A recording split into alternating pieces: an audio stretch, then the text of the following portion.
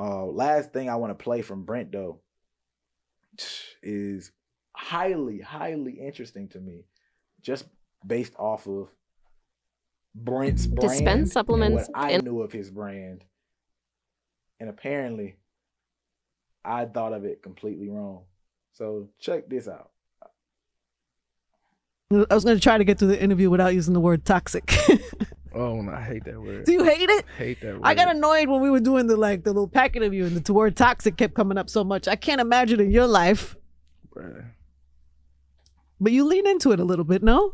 Not intentionally. I could do, Mm. but it, it gets to a certain point where once it's, it's attached to you, you could do anything, and that's what people going. It's Yeah. like a zodiac. All right, cool.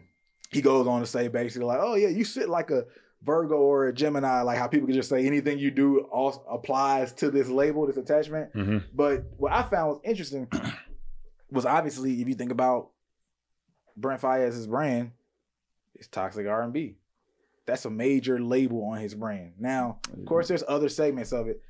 I wasn't aware that there was never a point that he pushed that or owned that himself. Yeah, that was fan push, bro. I didn't realize that was a fan Yeah. push.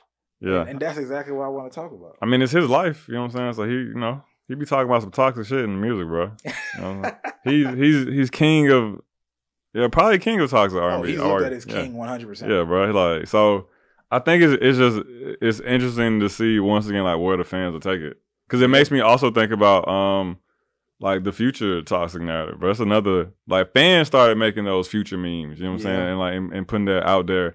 That wasn't something he was actively doing. Same with Brent Faiyaz, bro. I've seen lots of toxic Brent Faiyaz memes. You know what I'm saying? It's like once again, like fans feel like, hey, this song that you made fits a toxic situation I'm going through. So to me, you are the toxic savior. You know what I'm saying? Like, like you are making the soundtrack to to that brick going through my window at 3 a.m. You know what I'm saying? So it's like maybe that's not what you want, but that is what I as the fan see for you. That's what that's what it feels like. That's crazy because in, in this situation, I would say it worked out positively for Yeah, him. yeah. Right? And he can find that to be annoying. But That's why he ain't trying to stop it. He ain't never came out to try to stop it. He's not making romantic love songs. Well, you know, like super, super romantic, non-toxic stuff it's to, funny, to kill it. about You that know? in this interview too. You know, like like when he's gonna make love, but like he said, he's kind of just talking about his life and where he is Yeah, in the moment. yeah. But man, imagine if the fans, fans, not even haters, create a narrative that is detrimental to you. Because fans can do that unknowingly because it's just like short sighted and it might be something, you know, that grows and goes way beyond what it actually is in a negative way. Yeah, yeah. How do you manage that in your opinion? You can't. I don't feel like you can, but you just gotta hope and pray that your fans are coming up with the memes and the jokes and the narratives that benefit you. Cause you brought up a good point. Sometimes it's accidental, bro. Sometimes a fan is just making a joke Yeah. and it spreads out and now some outlet picks it up and it's looked like looked at as a serious thing. Do you remember a couple years ago when um they're, they're technically a Travis Scott fan, but I want to say they were a content creator, but they put out this video of, you know, like fake uh, Travis Scott like cheating on Kylie Jenner. Oh yeah. And, and that whole thing just spread, bro. And it came out, the person was like, oh, this is just a joke.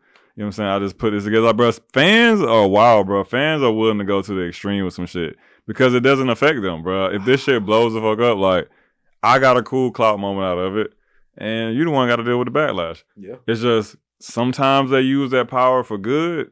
Sometimes they use it for evil, bro. So that's why I say I don't think there's anything you can do. You you just have to hope that you're engaging and cultivating a group of people that like fuck with you. You know what I'm saying? And, and uh, trying to at least not like put a, a negative narrative out there about you. But again, even if they're trying, not trying to, they can. And I think that's what makes it so difficult today because it goes back to DJ Akademiks and Joe Budden talking about today's fan back, what was it, probably like 2017 now or whatever on Everyday Struggle. I remember hmm they were like, you know, Joe Budden would be like, no, that is not a fan. Yeah. You know, and Akademiks are like, no, yeah, that's what fans do. They'll show up to your house and and do some crazy shit. Egg your Like- window or some shit. like, no, man, that ain't a fan. Yeah. For me, my, the way I'm set up and built, nah, that ain't a fan. For me, Yeah, like, you're not gonna get like, oh, I get it. You're just like, I'm not gonna be thinking of you in a positive way if you make up some bullshit like I cheated, right? Yeah. I get that you got your clout from it from me. I might not even feel because I might say, oh yeah, you're immature and you're at a certain place in life, and whatever that age, like if he's that kind of age, you know, if it's a grown grown man, hell no, for sure. But I might give you some grace and be like, I get, but I I'm not gonna fuck with you still. hmm Personally, we ain't taking no Mhm. pics. You're not coming up on stage, you know. I'm not about to support the moment. But if you go against those moments, you know, you feed them as well, the way the internet works. Yeah, that's what I'm saying. That's like the problem. it's such a, a delicate dance, right? Do I ignore it? Do I lean into it? Because sometimes there's power in lean in like laughing at it or leaning into it and just taking it away, right? And so it's such a situational thing. That's why I, I don't think there's a hundred percent, you know, way to to ever just control it. I think it's something you more so have to just monitor and then have the I, I don't know either just the the the good gut feeling to know when to take a, a risk and you know like I said either ignore lean in or, or capitalize off of um bro just hope your fans just are not off of your blood but it's crazy because I've seen other artist fans do it like when artists beef you know what I'm saying like there's a there's a really uh popular like Twitter page I follow that a Nicki fan page that like hates uh like Latto bro like the rapper Latto and like I've just seen them post like crazy shit you know what I'm saying and you'll see fans in the comment just like, wow, nah, bro, saying I heard this, I heard this, I heard this. And one, you just thinking like, where'd you hear that from? Like, who put that, that information out there, right? But I don't put it past the fans to create narratives because, like I said, for a lot of them, I feel like this should, artists' lives to them are like a game, like a, a real life video game. Sometimes I think, right? It's like we were talking about earlier with the fan and uh, fans wanting to have a decision.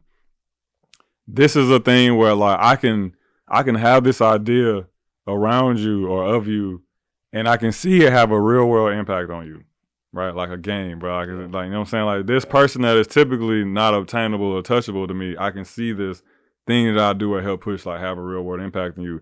Let me take a quick second to say if you're an artist trying to blow your music up, or if you're a manager, a music professional in general trying to help an artist blow their music up, I have something that's a game changer for you, and it's completely free. As you may know, we've helped multiple artists go from zero to hundreds of thousands of streams. We've helped multiple artists go from hundreds of thousands to millions of streams, chart on Billboard, go viral, all of that stuff. And we've now made the way we've branded multiple artists and helped them go viral completely free, step by step in Brandman Network. All you have to do is check out brandmannetwork.com. You apply, it's completely free. But the thing is, we're not going to let everybody in forever. So the faster you apply, the better your chance of getting accepted. Brandmannetwork.com. Check it out.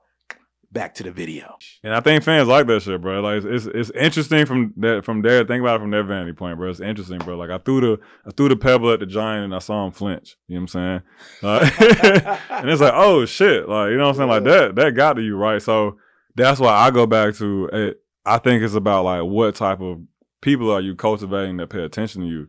Because certain um you know some fan bases breed toxicity and you can tell like the the fan base is just like crazy bro it's, it's ugly over there. And then you see some fan bases where like their fans will never do anything crazy to their favorite artist right? They will never like you said harass them somewhere or, or show up to their house or do certain things. So you know, with people being people, some of it you naturally can only control so much. But I I do think it comes down to what type of people are you as an artist attracting? What type of base are you cultivating? You And then- definitely curate that yourself. Yeah, yeah. So you, 100%. so you try to create as positive an experience as you can, and then you know beyond that, man, you know, I just gotta hope for the best. Yeah, yeah, I, I, I can see that. I can see that, man. I think the the really interesting thing you said was throwing a pebble at a giant and making him flinch, Yeah, right? And then at that moment, that dynamic changes because you go from superhero to somehow to realistic. realistic. Yeah. You're in my space, and now psychologically, I'm no longer even thinking about my fandom. I'm only thinking about how can I make you flinch again? How can I interact with you again? It's crazy, so bro. everything goes out the window. So yeah, no, that's that's that's real crazy. Hey, bro, fans can really be sadistic, bro. When you think about that shit, Oh, that shit, yeah. that should be crazy. Hell yeah. Well, look, man, I want to end this thing out with some fun. Two little quick subjects.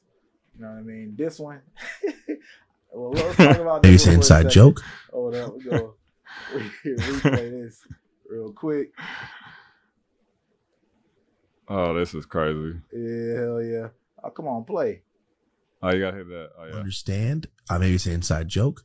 Mhm. We had like 200 people say, ask him about his real voice. I'm like, what does that mean? Is that an inside joke? Nah, it's real. What they think your voice isn't real? I, I, I really talk. What the fuck? Fuck out of here. That's not how you really talk. That is my real voice. I just talk like this when I'm trying to like make music and make content and shit. But I really talk like this in real life. the fuck out of here. You can ask anybody. That's how I really man- talk. This man is funny. You talk Like my your fam, like I'm around my family and shit. That's That's what I got. That's what I think, man. I'm like, ah, it hit too hard, man. It really got me. I didn't think it was gonna go there at all. I don't know where I thought it was gonna go when he said the real voice, but I am not so deep into the DDGG world if I know if it's like an inside joke and something he's done before or Oh whatever. yeah, man, he trolling, bro. But I'm like, this has to be a troll. But it was done so smoothly, Yeah. right?